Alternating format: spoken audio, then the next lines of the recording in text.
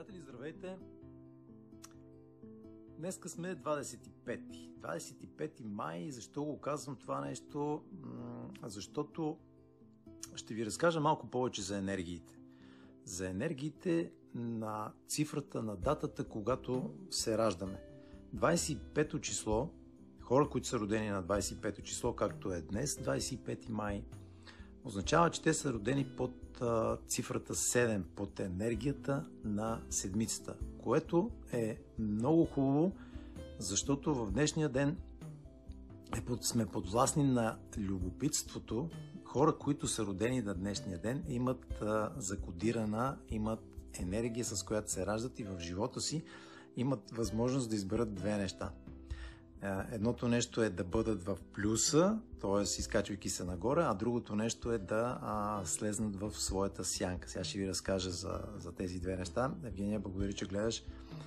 А, ако човек, който е роден на 25-ти, а, избере да бъде любопитен, избере да бъде жаден за, за знания, за новостите, а, той изгражда в себе си смелост. А, това го дига нагоре и то е в, в неговия плюс, т.е. в а, позитива на, на тази енергия, под която е реден на числото 25, което прави 2 плюс а, 5, 7.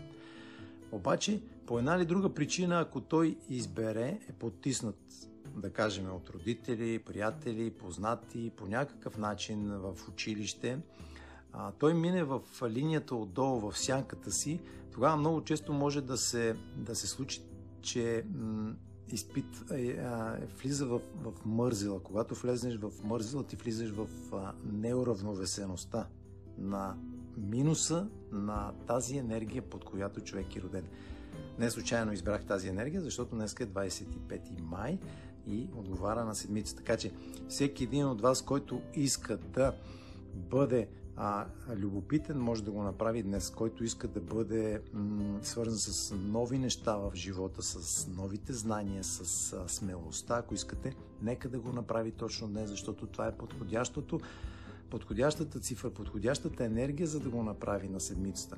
Нека да не изпадаме в мързел, нека да не а, сме прекалено предпазливи защото ако сме прекалено предпазливи, тогава влизаме в мързела и тогава влизаме в тази неуравновесеност. Ние влизаме в нашата сянка. Аз ви споменах за архетипите.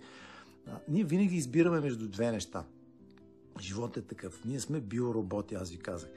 Когато избереме да сме в плюса, а, това означава, че ние привличаме партньори, хора, които, с които може да работим в даден проект и така да се дигаме съответно от а, другата енергия, да кажем, а, мъжката или женската.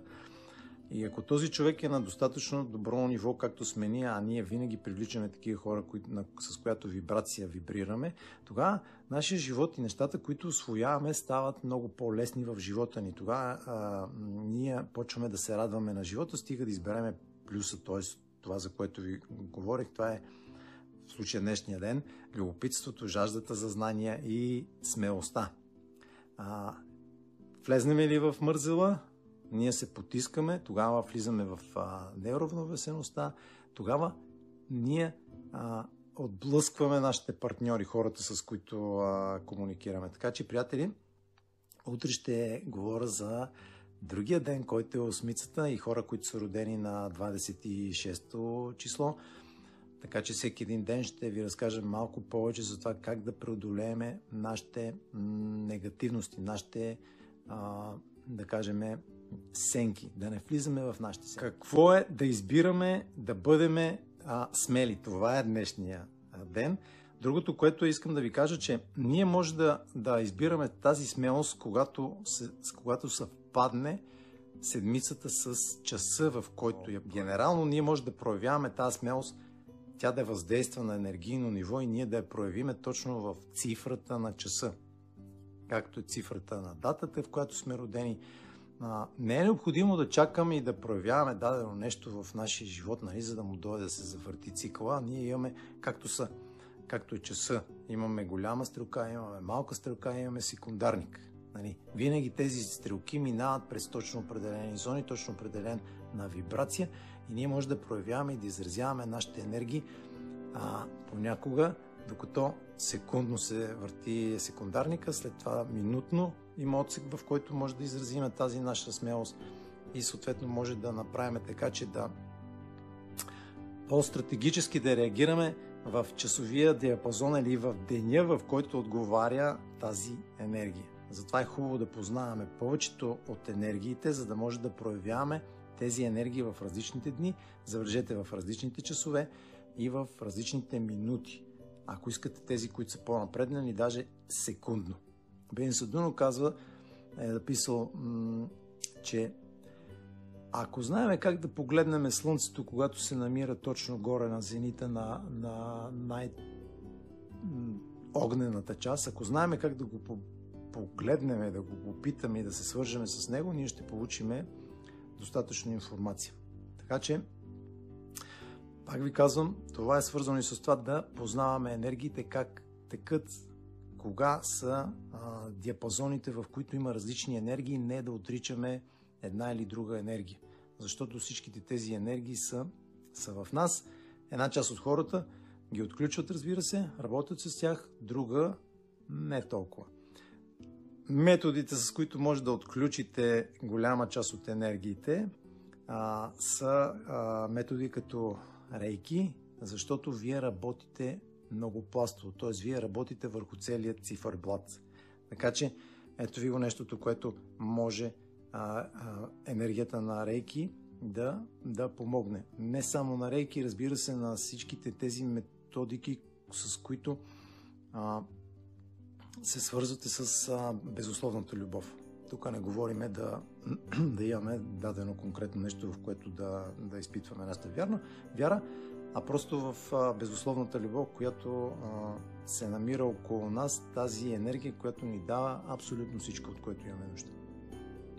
Приятели, утре ще си говорим за 26 6 плюс 2 8 за осмицата. Как ще ни помогне, какво ще ни направи. А пък в четвъртъка, 20 часа и 30 минути, може да направим не нещо обобщаващо. Така, Мариала пише. А сега ще ни кажеш каква е разликата между личностното осъзнаване и духовното ни израстване. Включвам се набързо да кажа, тя беше изключително любопитна. Точно говоря за любопитството и тя а, даде един много хубав въпрос, който а, аз се, по някакъв начин се блокирах, не исках да отговарям, защото бях в енергията на арканите. Обаче сега, понеже е любопитен, днеска седмицата е денят за любопитство, денят в който трябва да бъдем смели. Аз искам да й отговоря с смелост на този въпрос, на нейното любопитство, което а, направи. И прочитам въпроса. Здравейте на всички приятели, които ме гледат. Мариела преди 15 минути ми зададе много хубав въпрос, който беше любопитен, свързан с знание. И аз на среща си отговарям, отговарям с смелост да отговоря на това нещо, защото това е позитива в днешния ден. Нека да не бъдем плахи, нека да не бъдем в днешния ден а, такива потиснати и мързеливи, защото това е характерно за цифрата на днешния ден. Така че, приятели, чета ви въпроса, който тя ми написа. Здравей, а, Асена ли? Ще ни кажеш ли каква е разликата между личностното осъзнаване и духовното ни израстване? Как рейки помага да ги свържем? Това, приятели, което мога да кажа е, и което разбирам от нейния въпрос, е, че тя казва личностно осъзнаване, забележете и духовно израстване. Всичко, което е свързано с духа, е нематериално, което означава, че е хубаво там да го осъзнаваме. Нали? Значи, нека да бъдем а, м- по любопитни за това как може в, а, в невидимия свят, в осъзнаването ни да се свържеме с духа. А, а пък в личностното, а, както го е написала тя, в личностното осъзнаване, нека да бъдем в личността по-усъвършенствани, т.е. да смениме, да, да израснеме там, защото личността е свързана с егото. И тук една много хубава връзка. Тя самата, тя го казва много хубаво в, в въпросите, които ам, задава, защото много често в нашите въпроси се крие отговора. Само забележете, сменям две думи и накрая тя самата казва, ако проверите, нали, ще, ще го прочетете, но аз бих сменил личностно израстване и духовно осъзнаване, за да осъзнаеме духа и да усъвършенстваме нашето его. Как усъвършенстваме нашето его, когато разбереме, когато се проявява и кога може да го а, да притихнеме с него. Това нещо, връзката между тези две неща, тя както казва е как рейки помага да ги свържем. Ами точно именно, приятели, рейки е системата, енергийната система, която ни дава яснота как може да свържеме нещо, което е нематериално, което е духа, и нещо, което е материално, което е свързано с нашето тяло. Защото егото ни, приятели, това е нашето тяло. Рейки помага да направиме връзка между духът и тялото. А това именно е нашата душа. Нашата душа, приятели, е материална. Тя много често не е при нас, точно в случаите, когато ние сме в сенките си. В а този днешния ден не бъдете мързеливи, не се потискайте, а бъдете изпълнени с, а, с позитивни чувства на любопитство, на нови знания и на смелост, която имате. И тогава, тогава вие се включвате в енергията на, на космическата енергия, на тъй наречената рейки енергия. В тази енергия вие осъзнавате себе си и се дигате нагоре. Рождено правилно е всеки човек да използва а, тези енергии. Просто ние а, не го знаем. Родени сме на Запада, ние сме толкова древни, че най-вероятно назад във времето сме минавали през тези неща, дълбоко забравени. Ние имаме рождено право на това нещо да го правим. И нашата душа е, се свързва с това нещо. Нашата душа прави връзката между духа и тялото ни. Това, което всъщност Мариела казва, как душата ни прави връзка с духа и тялото. Това е, означава. Духовността, приятели, означава да направим нещата по различен начин. Това е нещото, което аз пък и казах, че ще, ще й отговоря в четвъртък. Четвъртък най-вероятно от 20 часа и 30 минути ще разговаряме и на тази тема, но исках да бъда смел, за да ви покажа какво може да правим в дните, които се изисква смелост. И това е днешния ден, въпреки че имам куп задачи, които трябва да правя. Аз реших да направя тази връзка, да отговоря на Мариела за това как може да свържем двете неща. Личностното, забележете, усъвършенстване, свързано с егото ни, да разберем принципа какво е тялото, как работи и осъзнаването на, на, на, на духа, на душ, т.е. по-скоро на духа ни, на духовността ни, какво е това нещо, душата ни, връзката е душата.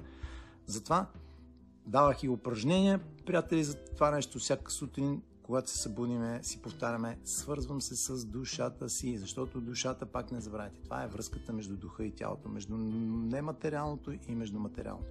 Когато се свържаме с душата си, ние тогава вече може да се свържем с елементите в тялото и тогава вече разбираме принципа на, на духовността. Така вече дигаме нашето ниво.